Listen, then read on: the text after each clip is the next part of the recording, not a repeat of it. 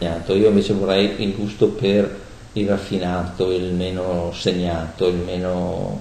perché poi alla fine queste cose devono essere... Eh, devono durare nel tempo, perché più, più lo caratterizzi più invecchia.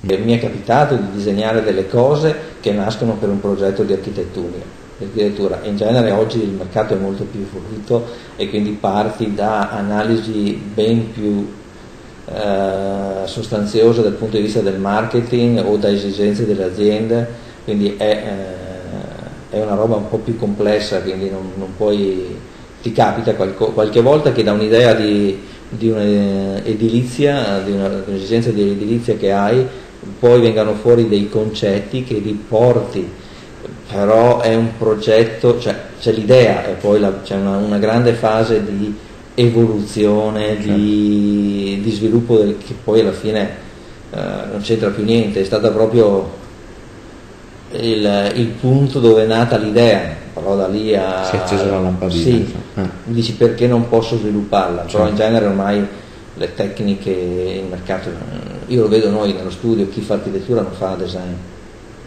Quindi, eh, sono due mondi sì, separati. un piano, sono due piani diversi. Pensavo che avessi più contaminazione tra l'uno e l'altro, invece no, c'è nel, che, no, nello sviluppo no, perché le problematiche sono sostanzialmente, sono sostanzialmente diverse.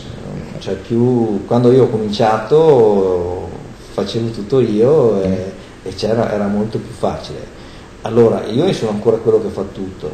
Ci sono dei momenti in cui la parte architettonica viene coinvolta o viceversa la parte design mm. viene coinvolta, però è per definire un qualcosa o dare una mano, ma non che, cioè voglio dire, se devo fare i rendering me li fanno quelli che fanno design, perché sono più veloci e hanno una, una mano di un certo tipo. La stessa cosa è se abbiamo bisogno di certi, quando abbiamo progettato le tende, ad esempio, certe, certe esigenze che venivano dall'architettura, tutta una collezione che chiamiamo urban, molto più mono, monolitica dei slab, cioè delle, mm. delle mensole, di, cioè dovevano essere dei, degli elementi architettonici molto definiti, molto puliti, non disegnati fini a se stessi, in quella collezione ad esempio la parte architettonica è entrata, però è sempre una... vivono insieme, quindi c'è una...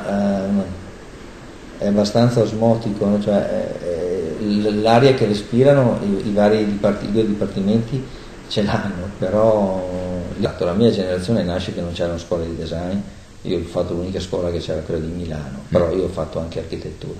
Mi sono formato, gli, architetti, cioè il design italiano è, fatto, è stato fatto negli anni 70-60 da architetti e, e quindi avevamo un, un approccio ben preciso che era dato dall'architettura. Oggi ci sono scuole di eh, design e quindi l'approccio che hanno i giovani è molto diverso di quello che avevo io quando mi sono formato.